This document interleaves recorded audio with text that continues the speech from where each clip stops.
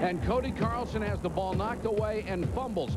Then we go to the sideline where offensive coordinator Kevin Gilbride obviously hears something and walks toward defensive coordinator Buddy Ryan, who throws a punch at him in what I have to characterize as a totally classless act.